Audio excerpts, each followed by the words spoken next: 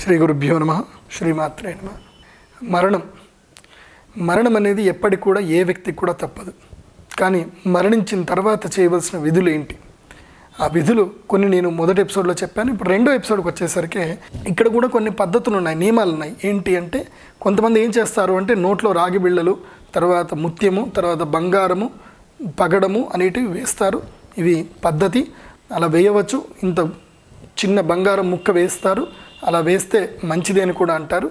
ఈ విధంగా ఆ యొక్క పద్ధతులు అనేటివి చేయాలి చేసి ముందుకు బయలుదేరాలి. ఇది అంత అయిన తర్వాత ఇంటికి వెళ్ళిన తర్వాత అంటే ఇంటికి వెళ్ళేటప్పటికి మధ్యలో ఎవరింటికి కూడా వెళ్ళకూడదు ఎవరిని కూడా పలకరించకూడదు. ఎవరైతే ధన సంస్కారం చేశారో వారు ఎవరిని కూడా పలకరించకూడదు. అలా పలకరించకుండా ముందుకు వెళ్ళాలి. అయితే ఒక విషయం చెప్పడం మర్చిపోయాను. ఈ సంస్కారం చేసేటువంటి వాళ్ళకు ముందుగా గుండు కొట్టించుకోవాలి ముండనం చేసుకోవాలి. తర్వాత వాళ్ళు ధరించేటువంటి వస్త్రం కూడా ఎలా ఉండాలి అంటే తెల్లటి వస్త్రము దానికి అంచు అనేది ఉండకూడదు. అలాంటి వస్త్రాన్ని ధరించాలి. ఆ వస్త్రాన్ని ధరించి బ్రాహ్మణులు జంధ్యం ఉన్న వాళ్ళు అయితే పర్వాలేదు కానీ జంధ్యం లేని వాళ్ళు బ్రాహ్మణులు కా అబ్రాహ్మణులు ఎవరైతే ఉంటారో వాళ్ళు ఆ బట్టని కాస్త కట్ చేసి ఒక దారంలాగా కట్ చేసి ఆ దారం తాడును జంధ్యంలాగా కట్టుకోవాల్సి ఉంటుంది. ఆ సందర్భానికి కట్టుకోవాలి. కట్టుకొని ఈ కార్యక్రమాలన్నీ కూడా ప్రారంభం చేయాల్సింది ఉంటుంది. ఇలా ఇవంతా అయిన తర్వాత ఇంటికి ఎప్పుడైతే వెళ్తారో ఎవరైతే బంధువులు ఎవరైతే దగ్గర వాళ్ళ ఆత్మీయులు ఉంటారో వాళ్ళందరూ కూడా వీళ్ళతో పాటే కలిసి ముందుకు వెళ్ళాలి. ఎవరు కూడా శ్మశానం నుంచి నేరుగా వాళ్ళ వాళ్ళ ఇంటికి వెళ్ళకూడదు. ఎక్కడికి వెళ్ళాలి? ఏ ఇంటి నుంచి అయితే శవం తీసుకొచ్చారో ఆ ఇంటికి వెళ్ళాలి. చాలామంది ఏం చేస్తారు అంటే ఏదో పెళ్ళికి వెళ్ళొచ్చినట్టుగా శ్మశానంకి వెళ్ళేసి చావు చూసేసి అక్కడనే అక్కడనే స్నానం చేసేసి వాళ్ళ ఇంట్లోకి వెళ్ళిపోతారు. అలా వెళ్ళకూడదు.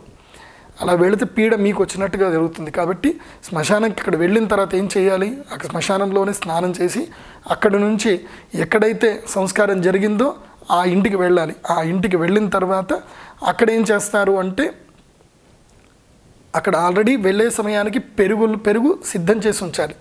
పెరుగు సిద్ధం చేసి ఉంచాలి. అప్పుడు అక్కడికి వెళ్ళిన తర్వాత అరచేతిలో పెరుగు అనేది వేస్తారు వాళ్ళు. ఎవరు ఇంట్లో ఉండేటువంటి వాళ్ళు అంటే ఆడవాళ్ళు ఇక్కడ శ్మశానం వరకు రారు కాబట్టి వాళ్ళు అక్కడ సిద్ధం చేసి ఉంచాలి. శ్మశానం వెళ్ళి వచ్చినటువంటి వారికి అరచేతిలో పెరుగు వేయాలి. అరచేతిలో పెరుగు వేస్తే అరచేతిలో పెరుగుని నాకేసి తర్వాత అక్కడి నుంచి ఏం చేయాలి ఏదైతే శవాన్ని మొదలు ఎక్కడైతే పడుకోబెడతారో ఆ స్థలంలో ఇతను ఎవరైతే కనుక వీళ్ళు ధరించిన వస్త్రాలు ఏవైతే ఉన్నాయో అక్కడికి ఆ వస్త్ర విసర్జన చేసేసి ఆ వస్త్రాన్ని అక్కడ ఆరవేయాలి. అంటే శవాన్ని పడుకోబెట్టిన ప్రదేశంలోనే ఆ వస్త్రాన్ని ఆరవేయాలి. ఆరవేసి అక్కడనే ఆ దీపం ఎక్కడైతే ఉంటుందో ఆ దీపం కూడా అలాగే ఉండాలి అక్కడ. ఆ దీపం ముందు ఆ శవం ఉన్న ప్రదేశంలోనే పడుకోబెట్టిన ప్రదేశంలోనే వస్త్రాన్ని పరిచి అక్కడ సావధానంగా కూర్చోవాలి. ఎవరైతే కనుక చావు చూడడానికి వచ్చినటువంటి వాళ్ళందరూ కూడా ఆ పెరుగును కాస్త తీసుకొని మీరు కావాలంటే ఊమ్ చేయొచ్చు పక్కన పాడేయచ్చు. కానీ దాని అంత పూర్తిగా ఆస్వాదించడానికి లేదు అని అంటారు. కొంతమంది కొన్ని కొన్ని ఆలోచనలు ఉంటాయి పెరుగు తీసుకోవచ్చు లేదంటే కాస్త ఇలా రుచి చూసేసి నాలుకతో అద్దేసి పక్కన పాడేసి చేతులు కడుక్కొని అక్కడి నుంచి వెళ్ళిపోవాలి. ఇంటికి వెళ్ళిన తర్వాత ఇంట్లోకి నేరుగా కాలు పెట్టకూడదు. అంటే ఎవరైనా బయట వాళ్ళు ఎవరైనా కనుక అంటే ఈ వీళ్ళ ఆత్మీయులు కాకుండా వీళ్ళ ఇంటి వాళ్ళకి సంబంధించిన వాళ్ళు కాకుండా వేరే వాళ్ళ ఇంటి నుంచి ఎవరైనా కనుక వస్తే కనుక వాళ్ళ ఇంటికి నేరుగా వెళ్ళకూడదు. ఇంటి బయటనే వాళ్ళు మృతికా స్నానం అంటే అంటే వీళ్ళకు మైల లేని వాళ్ళు అన్నమాట అంటే అక్కడ తులసి మొదల్లో నుంచి ఇంత మృతికని అంటే మట్టిని తెప్పించుకోవాలి తెప్పించుకొని మొదలు బయట ఇంటి బయటనే ఇంటి లోపల గడపలో కాలు పెట్టకన్నా మునిపే చక్కగా నీళ్ళతోటి స్నానం చేయించేసుకొని వేడి నీళ్ళు అయితే మంచిది ఇంకా వేడి నీళ్ళతో స్నానం చేయించేసుకొని తర్వాత మృతికను తీసుకోవాలి. ఇది మొదలు స్నానం అయిన తర్వాత మృతిక తీసుకోవాలి ఆ మృతిక తీసుకొని ఒంటికంతా రుద్దుకొని తర్వాత పుండరీకాక్ష పుండరీకాక్ష అని మూడు సార్లని తలంటు స్నానం చేసి ఆ ఏవైతే ధరించిన వస్త్రాలు పిండి బయటనే పక్కన పెట్టేసి ఇంట్లోకి వెళ్ళాలి. తెల్లారి చాకలి వాళ్ళకి ఆ బట్టలు పిండుకొని రమ్మని చెప్పిన తర్వాత మీరు ఆ వస్త్రాలు ముట్టవచ్చు. ఈ విధంగా సంస్కారానికి సంబంధించి ఇది. తర్వాత ఈ శవం కాలిపోయిన తర్వాత నెక్స్ట్ డే ఏం చేయాలంటే నెక్స్ట్ డే వెళ్ళాలి. వెళ్ళి అస్థి సంచయనం అంటారు. అస్థి సంచయనాన్ని మొత్తం కూడా చేసి అస్థికలు ఏవైతే ఉంటాయో అవన్నీ కూడా అస్థికలు మొత్తం తీసుకొని ఒక బ్యాగ్లో వేసుకొని తర్వాత ఏవైతే కనుక కొన్ని అస్థికలు మాత్రము దాచిపెట్టేసి ఎందుకంటే త్రివేణి సంగమం కాశీలో కలపాలని మన పద్ధతులు కాబట్టి కొంతమంది ఏం చేస్తారు అంటే అస్థికలు తీసి పక్కన పెట్టుకుంటారు. అలా వెళ్ళే ఉద్దేశం లేని వాళ్ళు కూడా ఉన్న అస్థికలు మొత్తం కూడా తీసుకొని ఆ తర్వాత ఈ అస్థికలు ఏం చేయాలి? తీసుకొని వెళ్ళి దగ్గరలో ఉన్నటువంటి నదిలో కానీ చెరువులో కానీ కలిపేయాలి. ఆ కలిపేసి ఆ తర్వాత బ్రాహ్మణులు చెప్పినట్టుగా కార్యక్రమాలు అపర కార్యక్రమాలు చేయాలి. అయితే ఈ అపర కార్యక్రమానికి సంబంధించి ఏవైతే ఉంటాయో దాన దాన దానాది కర్మలు మాత్రం ఎట్టి పరిస్థితుల్లో కాంప్రమైజ్ లేకుండా చేయాలి. అలా చేసినప్పుడే ఉన్నత లోకాలకి వాళ్ళు పితృదేవతలు చేరుకోగలుగుతారు. కాబట్టి ఈ విషయాన్ని చాలా జాగ్రత్తగా గమనించాలి. ఇంకా మీకు ఈ మరణానికి సంబంధించిన ఏమైనా అపోహలు ఉన్నా సందేహాలు ఉన్నా సరే మీరు ఆ కింద యూట్యూబ్లో కింద నన్ను అడగొచ్చు. ఎందుకోసమంటే ఇవి విఘ్నత ఉన్నటువంటి వ్యక్తులే చెప్పాలి కాబట్టి ఇవి మన జీవనంలో ఒక భాగం. ఇది ఎవరైనా చనిపోయినప్పుడు వెళ్ళినప్పుడు మనం ఎలాంటి పద్ధతులు పాటించాలి? అసలు మరణించిన వాళ్ళ ఇంటికి వెళ్ళేటప్పుడు పలకరించడానికి పోయినప్పుడు ఏం చేయాలి అసలు ఎలా వెళ్ళాలి పలకరించడానికి పోయేటప్పుడు పలకరించిపోయిన తర్వాత ఎటు రావాలి? నిద్రకు ఎలా వెళ్ళాలి? ఇలా చాలా సందేహాలు ఉంటాయి. అలాంటి సందేహాలు ఏమైనా సరే ఉంటే కనుక మమ్మల్ని చక్కగా అడగవచ్చు. మేము ఈ వీడియోలో మీకు అన్ని కూడా విషయాలు చెప్తాం. ఎందుకోసమంటే ఇది మన భారతీయ సాంప్రదాయంలో ఒక భాగం ఇది. ఎంతో బాధగా ఉన్నా సరే ఇవి సంప్రదాయాలు ఇవి పాటించాలి. ఇవి అపర భాగంలో. అయితే ఇక్కడ ఒక విషయం చాలా జాగ్రత్తగా గమనించాలి. ఈ అపరకర్మలు చేయించేటువంటి బ్రాహ్మణ ఉత్తములు ఎవరైతే ఉంటారో వాళ్ళకి కాంప్రమైజ్ కాకుండా దానం సరిగ్గా చేయాలి.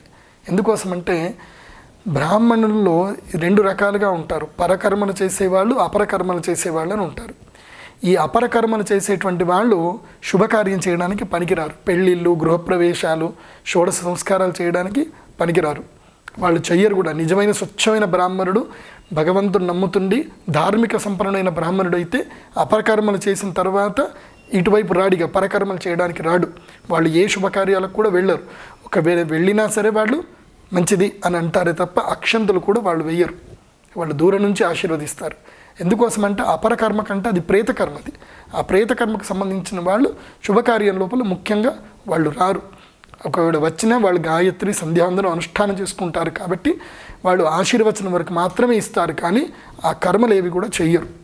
ఇంకొకటి చాలామంది పిండ ప్రదానం ఇత్యాది కార్యక్రమం లోపల పసుపు కుంకుమలు వాడతారు. ఎట్టి పరిస్థితుల్లో పిండ ప్రదాన కార్యక్రమంలో పసుపు కుంకుమలు వాడరు. ఒకవేళ గనక ముత్తైదు గనక చనిపోతే గనక చిట్ట చివరి సమయం లోపల వాయనం ఇచ్చేటప్పుడు మాత్రమే పసుపు కుంకుమను వాడతారు. అక్కడ తప్ప ఇంకెక్కడ కూడా పసుపు కుంకుమను వాడరు. నేను పుష్కర శ్రాద్ధాలకు అక్కడ వెళ్ళి చూసినప్పుడు పుష్క శ్రాద్ధ పిండాల మీద పసుపు కుంకుమ వేస్తున్నారు పిండ ప్రధానం లోపల కేవలం నువ్వులకు బియ్యానికి మాత్రమే స్థానం. ఇంక వేటికి అక్కడ స్థానం లేదు. అక్కడ వాళ్ళ వాళ్ళ సాంప్రదాయ ప్రకారం గోపీచందనం లేకపోతే భస్మధారణం అక్కడ వరకే. ఇంకా ముందుకు వెళ్ళే అవకాశాలు ఏమీ లేవు. అక్కడ దానికి సంబంధించి ఏవి కూడా అవసరం ఉండవు. కాబట్టి ఇలాంటివన్నీ విచారం అన్నీ ఉంటాయి. ఇంకేమైనా సందేహాలు ఉంటే కనుక మీ దగ్గరలో ఉన్నటువంటి బ్రాహ్మణత్వం వెళ్ళి కనుక్కోవాలి. వాళ్ళు చెప్పినట్టుగా ఫాలో అవ్వాలి. దా మరణ సంస్కారం అనేది మీరు వాళ్ళకి చేసేటువంటి చివరి సంస్కారం కాబట్టి ఆ సంస్కారం అనేది పద్ధతి ప్రకారం చేస్తే ఆ ఆత్మ అనేది ఊర్ధ్వలోకాలకు సరిగ్గా వెళుతుంది ఆత్మకు ప్రశాంతత అనేది లభిస్తుంది. సర్వే జన సుఖినో భవంతు. శ్రీమాత్రేనమ